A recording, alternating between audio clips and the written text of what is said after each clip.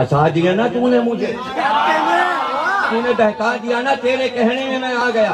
इस वक्त बड़ी मुसीबत की घड़ी है। अपनी अपने मामला खुद देखो, दूसरे को इल्ज़ाम ना दो।